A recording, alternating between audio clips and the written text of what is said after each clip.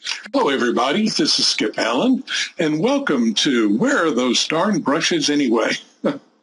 I get, excuse me, I get asked the question a bunch of times about um, where people can find artist oils brushes, where they can find the real bristle brushes, or how many brushes were deleted.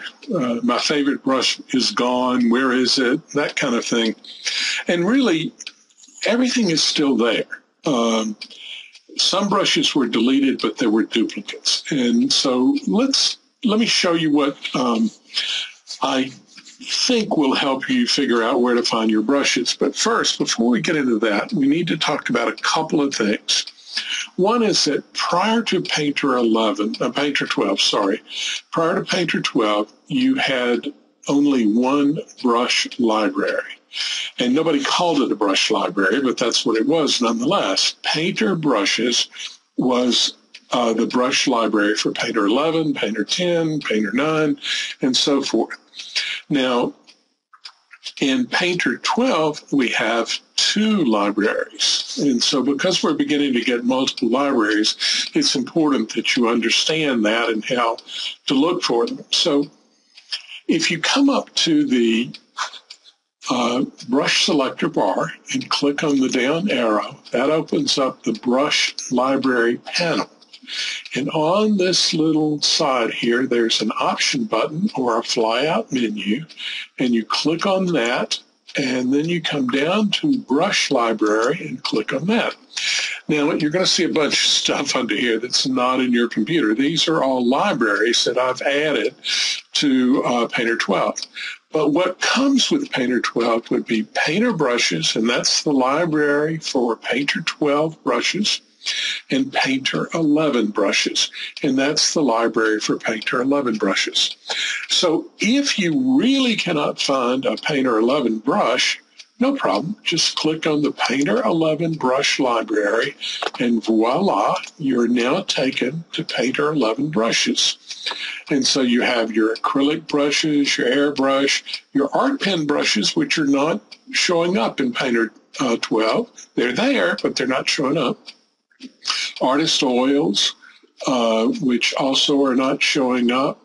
Uh, and there's some others too. I think uh, distortion doesn't show up or it's added with FX. I'm not sure which which happens there. But what the developers did is that they combined certain categories. They deleted certain categories, but moved the brushes inside of other categories. And then the actual brushes that they deleted from Painter 11 were multiple, uh, the duplicates of the same brush. In other words, you have three dry brush, acrylic dry brushes right here. Uh, acrylic dry brush 10 with a radius of 10, a dry brush with a radius of 20, and a dry brush with a radius of 30. Those are three identical brushes, just the size is different. And since we now have the dynamic uh, brush adjuster, it is so easy to change the size. There's no reason at all to keep all of these in there. Okay. So let's go back to uh, Painter uh, 12 brushes. And we just click on Painter brushes, and that will take us right back to Painter 12 brushes. Okay, now when we look at our acrylics here, these don't look the same, right? Well, they don't look the same for a reason. Now this is a screenshot of uh, the acrylic brush brushes in Painter uh, 11 brushes, okay? Uh, so let's open this up and you'll see you have bristle brush here. Now these are kind of small to see where over here you have captured bristle. Well, the captured bristle is there, and then you have the dry brush, and the dry brush is there, and then you have gl- uh, glazing acrylic, that's there. Then you have opaque acrylic.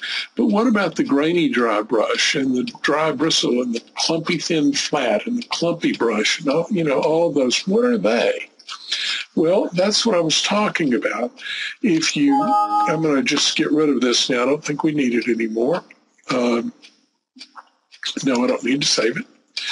All right, so if you come up here and look, and we've we've selected the bristle brush, and I'm going to drag over my uh, uh, brush control panels, and I'm going to open up the, not that, not that, I'm going to open up the general brush panel. And notice that the bristle brush has a dab type of artist oils. All right, there you go. Here's one of your artist oils. Go to clumpy brush. Look, artist oils. If we go to clumpy thin flat, artist oils. So your artist oil brushes have been split in between three different categories. They're in with acrylics, they're in with blenders, and they're in with oils. Your real bristles are set up the same way. They're in acrylics. I think they're in acrylics. I'd have to check to make sure, but they're definitely in uh, the oils category. And what about those um, pen brushes? Um, you know, we, we if we look at the uh, the brush that was called artist pen brushes, and one of my favorites in there was the worn oil uh, pastel or worn pastel brush. I can't remember the exact name, but if I click on pastels, and I come down to the bottom. There it is, worn oil pastel brush. So that's that brush out of that other category. In other words, all of the brushes are still here. They're just moved around to different places. Okay. Now, also you'll notice that categories have been combined. This was charcoal and Conte. This is uh, chalk and crayons. Uh, remember I told you the, the, um, distortion category was gone. Well, the distortion category is in the FX uh, group. So if we look in FX, here's your Distorto and, uh, you know, the other brushes that were in the distortion, uh, coarse Distorto. And so th- those are all inside of your FX category. So they've been put in there. So you've got you know, again, you've got everything you need. Now, some people say uh, it's a lot harder to have to go up here and switch around and grab these libraries every two seconds. Well, you really don't have to do that. And let me show you what you can do. I'm going to bring over this custom palette and notice I have a name David Gell, Jeremy Sutton, John Derry, Karen Bonaker, Painter 12 brushes, and Painter 11 brushes. Well, if I click on Karen Bonaker, that's going to take me to the Karen Bonaker library. Here's Karen Bonaker library.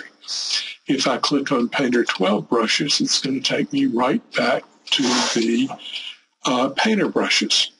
If I could click on Painter 11 brushes, it's going to go right back to those Painter 11 brushes. So how is that possible?